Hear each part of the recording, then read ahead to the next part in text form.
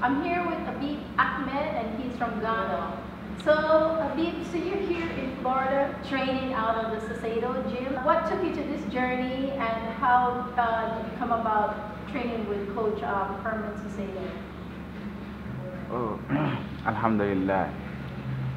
When when all started when all started like when I when I fought Gilberto Ramirez, that's 2018.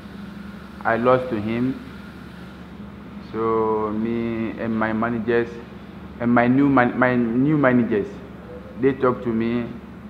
I have to come to US to train uh, because champions are here. If you want to be a champion, you have to train like a champion. You have to do everything, everything like a champion. And US is the main boxing, so I have to come to US and start training here. So that's how the journey started. So your fight is uh, August 15th. Um, do you know anything about your opponent's box? Oh well, I didn't know anything about him. Well, but the time they told me I would fight him, and I started watching his fight is small, small. So now I know something small about him. Yeah.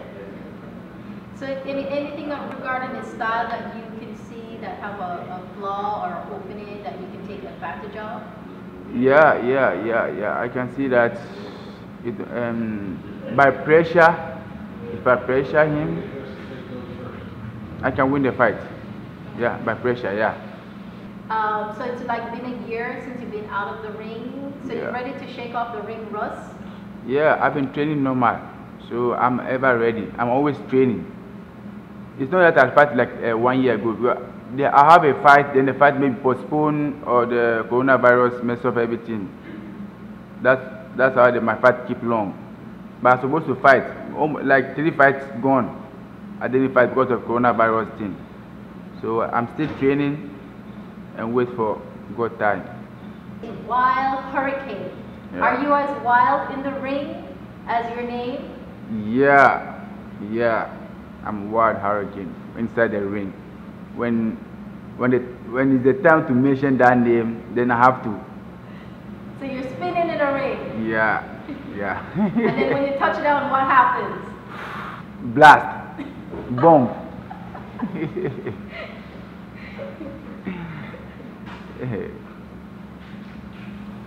So how long now you've been with Coach Caicedo? Two years. Three years. Two. Two years. Two years. Yeah. Okay. Two years. And then how you- two, how two you- and after two and a half. Yeah. So Two and a half. Yeah. You've been with Coach Caicedo two and a half Casino. years. Yeah. Two and a half years. So how are you liking it so far, being here and uh, having your um, own spot here in the gym because you know you have you guys have your own little uh, quarters, Quarter, yeah. training quarters, your personal space. Mm. How's it so far?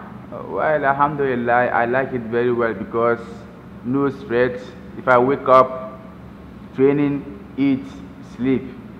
So I have no problem with that and I love that. And no distraction, right? No distraction. Nothing, nobody can distract you here. Only train, train. Train and eat. Train and eat and Yeah. sleep. And sleep. so after training, you, you sleep like a bear or you sleep light? Mm, it would depend. It would depend. If the train is a hard train, if I took my supplements, then You're out. go dead.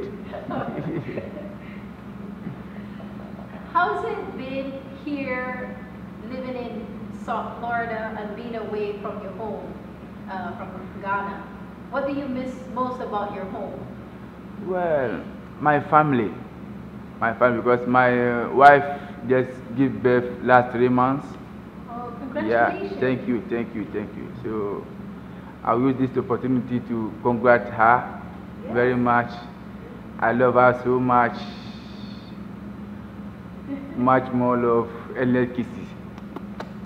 I love you so much, Ramatu. And what's the baby's name? Raudatu, Raudatu, Raudatu. Yeah. It's a boy or girl? girl. Yeah, okay. Raudatu Habib. And how many kids do you have? Two. Two. Now, yeah. Now two. You gotta give a shout out to the second baby, the first child. yeah, that's my first too. Yeah. Her name is Wasila too. I love you so much, okay? Wasila too. and when last have you um, been home? Did you, were you Yeah, that's one year.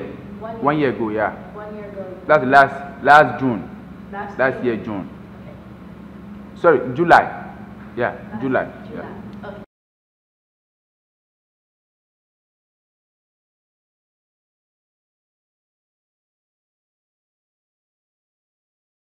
Yeah.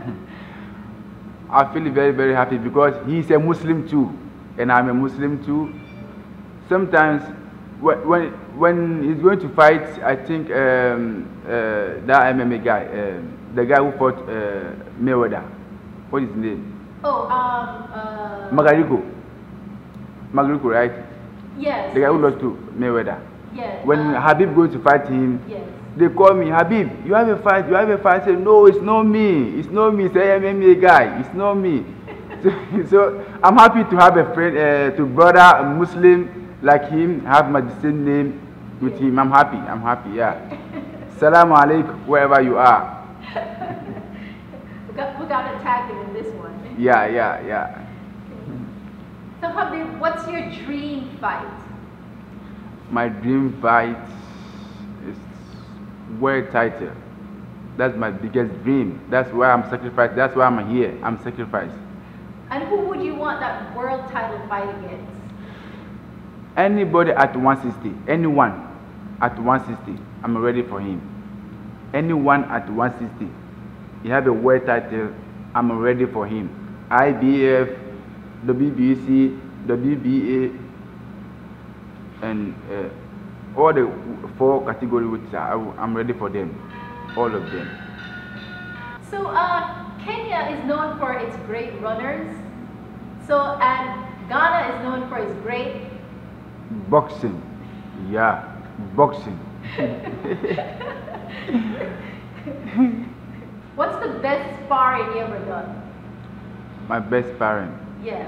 It's against with- who? Against- best sparring and against who? against Dure.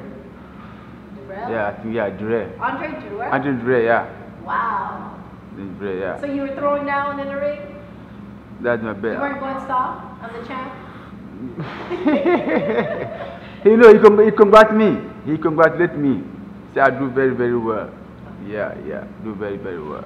How did you end up in the sweet science of boxing? Swing stance of boxing. How I become a boxing? Hmm. All started my my senior brother. He is the former box boxer in Ghana. At that time, and I hold his bag. That time was like uh, ten years. Yeah. 10 years old? 10 years old at that time, 9, 10 years old. I will, so anytime when he's going to gym, I hold his bag. Anytime I hold his bag to the gym, and one day I, um, I told him I want to box him because I like the way he boxes. And he introduced me to coach, that's my former coach in Ghana. And we, I started that day and then I started training. So you took the lead from him? You took the lead from your brother? Yeah, yeah. Now he stopped boxing because he have some injury. He have some uh, injury on his hand. So now he stopped. So now me, me carry on. Ah. Yeah. You know, for the great one to rise, the other person have to But- step aside. Yes. So now I'm the one took over now, over my brother.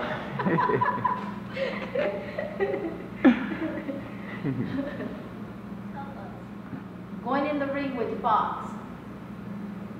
Tell us what round you're gonna lay it on him. hmm. What round you gonna put the gas on? Are you gonna step the step on the gas? I have a, Predict, predict it. Yeah. I guess uh, I have a lot of gas on uh, in me, but it will depend upon my opponent how the gas will short. So, coach is my coach in my back. You know, when the opponent short guy, oh this round three, round four. Okay, now you have to get him down. Then because I have a lot of gas on me. Anytime coach told me to fire on, fire on what I reckon. Then I have to bring Well, the, what, what would be your dream round to just get it over with? my dream run would be like at least four, four, five, yeah. Okay, so what should we, what should the boxing world know about Habib? Hmm. This you know that I'm a great fighter. And Habib is um, Habib is he know what he wants. So he keep on training, pushing hard to get his dream bigger. And so I know my dream. That's why I always work hard, harder to get my dream. So they should watch something bigger in me. Can you say to, to, to the boxing world here? Well, Habib is someone that he know his dream. He know his dream. So anytime he work hard and harder to get his dream. That's why anytime I'm in gym, training hard, coach is helping me. Alhamdulillah for that. I thank him. So one day I'll be a world champion because I know my dream. And in in my country we said any onukpa ba dumo. Any onukpa no onukpa ba na keje shon. Ke gbekepo dumo nwechu no e na nje nkokoko yeah it means what an old old man will stand and see far. You young man whenever if you you are on top of the tree you can't see there. Yeah hope you understand what i'm saying yeah. This is habib wild hurricane ahmed. You are watching autonomic action